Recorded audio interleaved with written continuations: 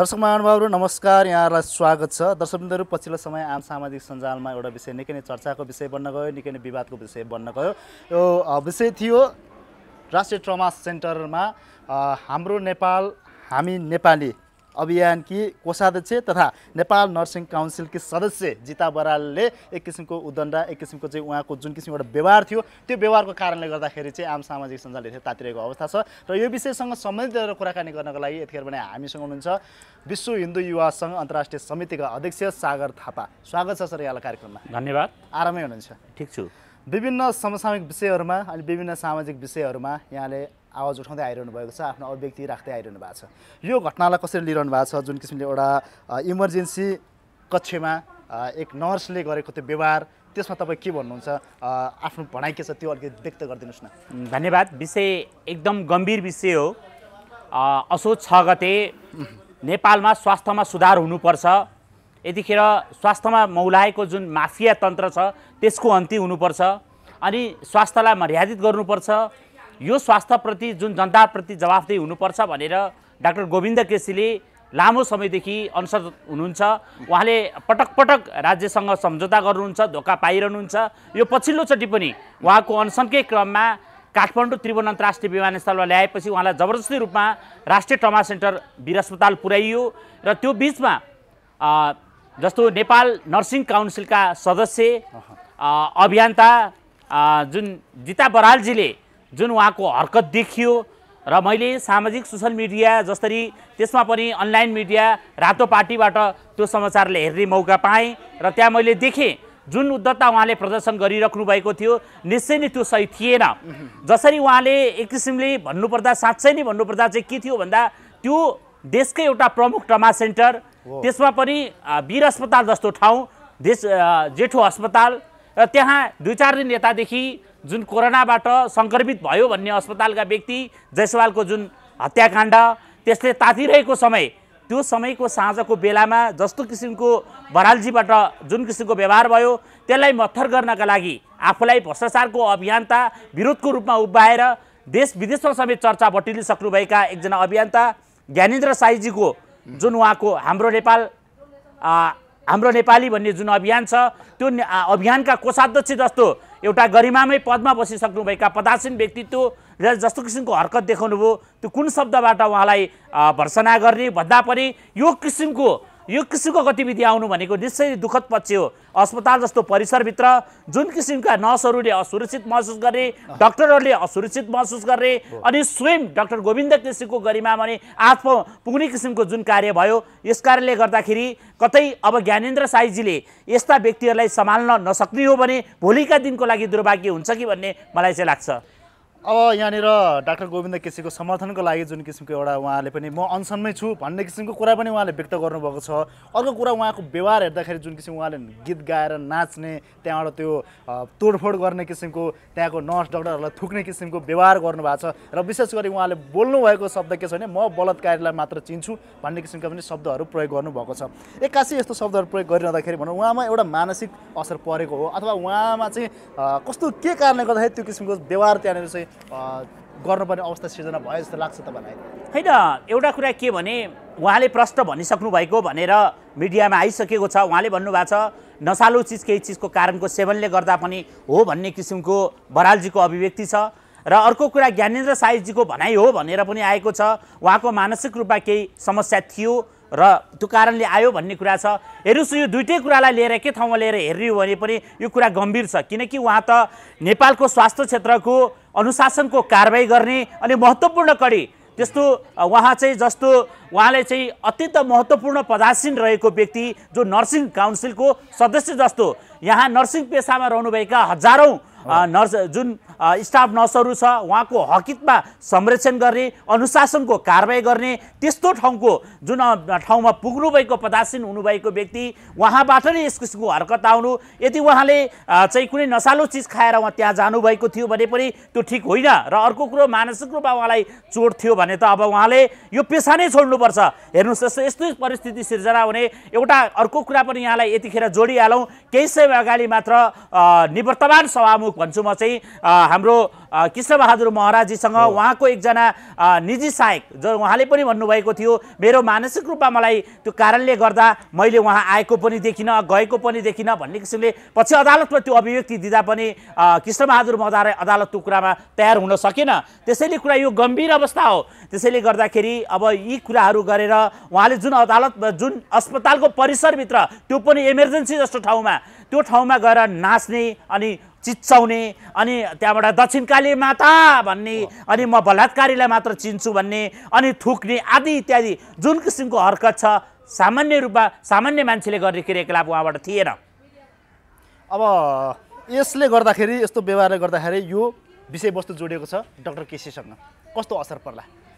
होइन डाक्टर गोविन्द केसी जस्तो एउटा उच्च साँच्चै नै भन्नुपर्छ यतिखेर यहाँ गान्धीवादी चरित्र भएको एउटा ठुलो व्यक्तित्व भन्छु म चाहिँ। किन भन्दा यतिखेर हेर्नुहोस् अनसनकै बिचमा उहाँको देहान्त हुन सक्ने परिस्थिति बन्न सक्छ। किनभने एउटा सरकारको जिम्मेवार मन्त्री भन्नेले यो बेलामा बोलिरहेको शब्द पनि गैर जिम्मेवारीपूर्ण ढङ्ग छ।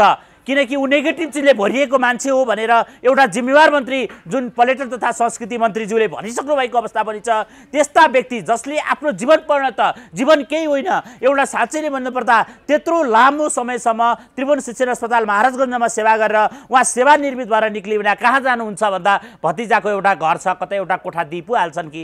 हेर्नुहोस् त। त्यस्ता व्यक्तित्व त्यस्तो उच्च मनोबल भएको व्यक्तित्व साँच्चै आज एउटा साँच्चै गर्वले नाम लिनुपर्छ डाक्टर गोविन्द केसी।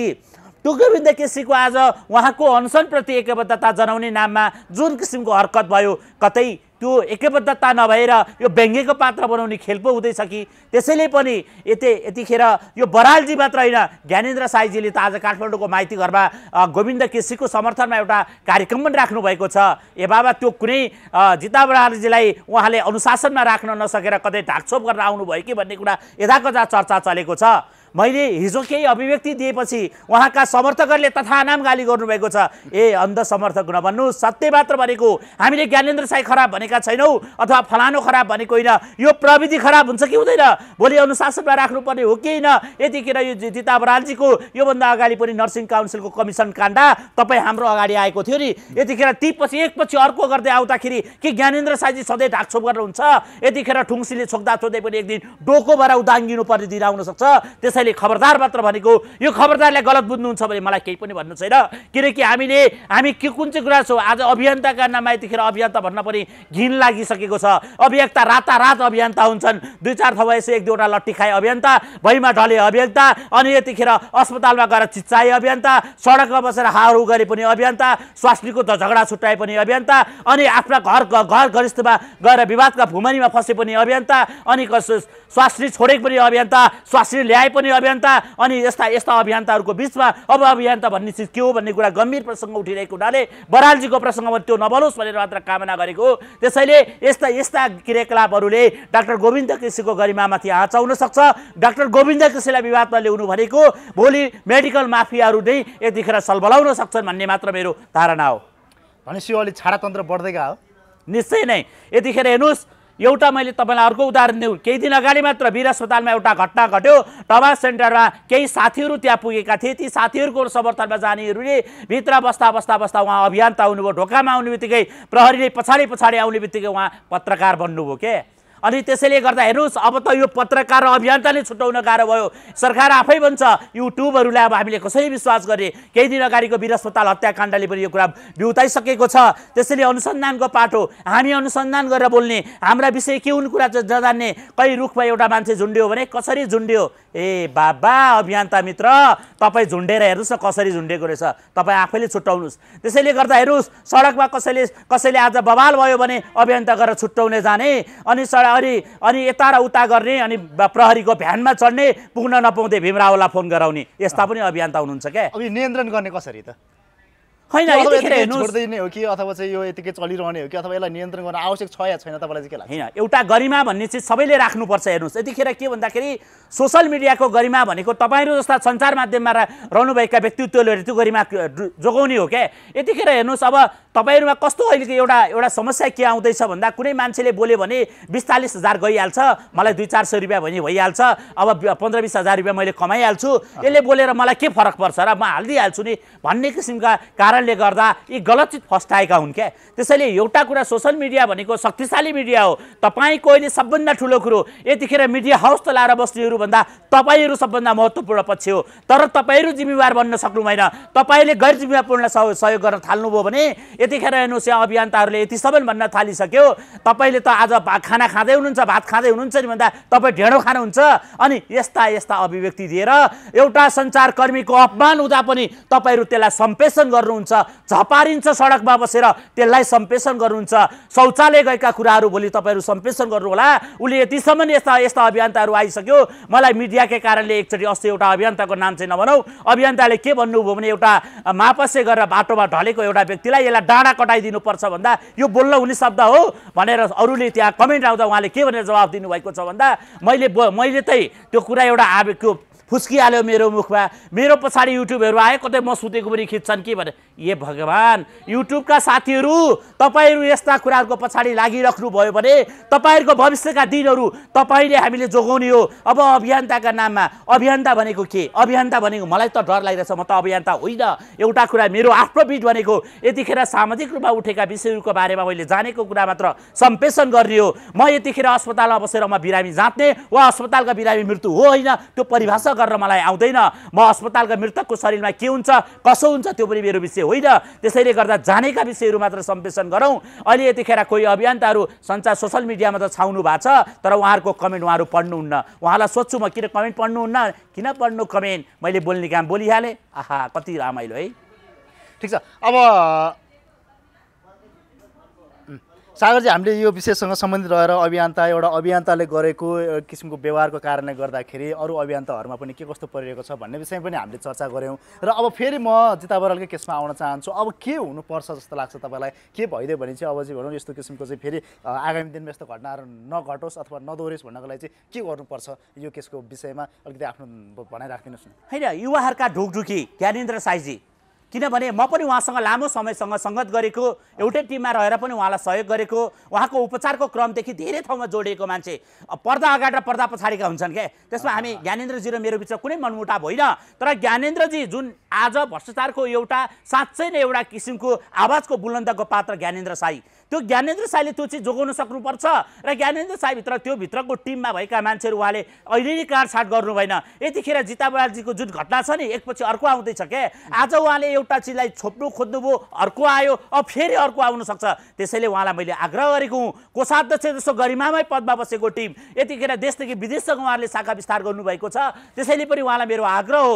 यतिखेर ज्ञानेन्द्र साईजीले यतिखेर यस्ता कुराहरू र अभियन्ता बन्नुहुने बरालजी तपाईँ पनि एकदिन सुधार हुनुहोस्। तपाईँसँग कुनै स्वास्थ्य समस्या छ भने तपाईँलाई मैले भनिराख्नु पर्दैन। उपचार गर्न ठाउँमा तपाईँ आफै हुनुहुन्छ। उपचार पनि गर्नुहोस् तर तपाईँले यस्ता गतिविधिहरूमा संलग्न भइ नभइदिनुहोस्। तपाईँले गर्दा तमाम रूपमा तपाईँसँगै रहनुभएका ज्ञानेन्द्रका शुभचिन्तकहरूलाई पनि असर पर्ला र आम रूपमा मैले अघि पनि भने अभियन्ताहरूको बारेमा मैले धेरै बयान गर्न थालेँ भने थाक्छु म। चौबिस घन्टामा चौ या यतिखेर मैले बयान गरेँ भने शेष रागले नसक्ला। हजार जिब्रा भएका शेषराले नसकेको अनि त्यस्ता चिजको कति बखान गर्नु मलाई त अलि यता ढिप्पी ढिप्पी ढिप्पी ढिप्पी ढिप्पी ढिप्पी ढिप्पी ढिप्पी भइरहेछ। आज त यतिसम्म आइसक्यो एउटा अभियन्ताको खेदो। अर्कोले खोज्ने अर्कोले अर्कोले खोज्ने। यो क्रम बढ्दो छ। त्यसैले पनि अभियन्ताहरू भन्न रुचाउनेहरूले आफूलाई अभियन्ताको रूपमा प्रस्तुत गर्न चाहनुहुनेहरूले त्यो गरिमा राख्नुहोला र तपाईँ सोसियल मिडिया चलाएर बस्नुहुने मित्रहरू तपाईँहरू सानो लोभले नफस्नुहोस्। तपाईँहरूले हरेक कुराहरू हुन त हो हेर्नुहोस्। अचम्म छ केही मिडियाका साथीहरू केही सोसियल मिडियामा बोलिरहने अभियन्ता भन्नेहरूको पछाडि यतिसम्म गर्नुहुन्छ। उहाँ कहीँ जानुभयो भने चिया खाएर खिचिदिनुहुन्छ उहाँहरू खाना खाँदैको ठाउँमा दसवटा क्यामेराले घिच्नुहुन्छ उहाँको घरमा के गर्दैछ? ए बेला भयो। घरमा के हुँदैछ?